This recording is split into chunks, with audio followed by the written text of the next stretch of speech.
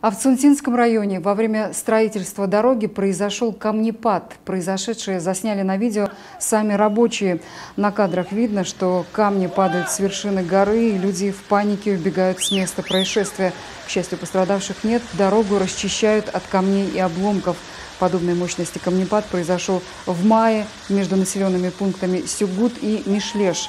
Тогда был заблокирован проезд к семи населенным пунктам республики, а без автомобильного сообщения остались более трех тысяч человек.